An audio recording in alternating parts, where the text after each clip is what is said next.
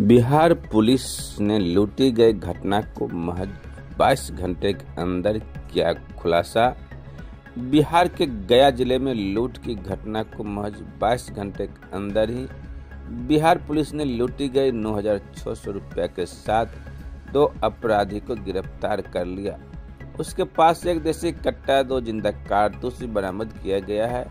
बताया गया कि इस घटना में कारित करने में माइक्रो फाइनेंस बैंक एक एजेंट का भूमिका रहा, जिसकी पुष्टि गया के वरीय पुलिस अधीक्षक ने किया है। इस न्यूज़ को अधिक से अधिक शेयर कीजिए, लाइक कीजिए, कमेंट कीजिए। गया ज़िले अपराध नियंत्रण हेतु और गंभीर मामले में जो संलिप्त अपराध कर्मी हैं, उनकी गिरफ्तारी हेतु विशेष अभियान चलाया जा रहा है। इसी क्रम में यह सूचना मिली कि बहेरा थाना क्षेत्र अंतर्गत मौला नगर गमरिया टार जंगल में कुछ अपराध कर्मी एकत्रित हुए हैं और बड़ी घटना को अंजाम देने के लिए वहाँ पे एकत्रित हुए हैं। इस सूचना के प्राप्त होते ही एसडीपीओ शेरघाटी टू और एसएचओ बहेरा एवं अन्य पुलिस पदाधिकारी एवं कर्मियों की एक टीम बनाई गई और उक्त टीम के द्वारा जब मौलानगर गमरिया टार में जब वहाँ पर छापेमारी की गई तो वहाँ पर देखा गया कि दो मोटरसाइकिल लगा करके कुछ लोग खड़े हैं और योजना बना रहे हैं।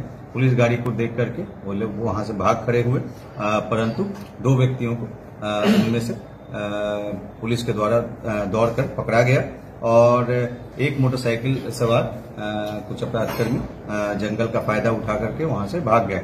जो पकड़ाए हैं व्यक्ति, उनका नाम है सौरभ कुमार तथा राजकुमार। दोनों बारा चट्टी थाना के रहने वाले हैं और जब इनकी तलाशी लिया गया तो इनके पास, सौरभ कुमार के पास से एक देसी कट्टा, एक स्मार्ट मोबाइल फ़ोन और एक मोटरसाइकिल तथा राजकुमार के पास से एक देसी थर्नेट बरामद हुआ।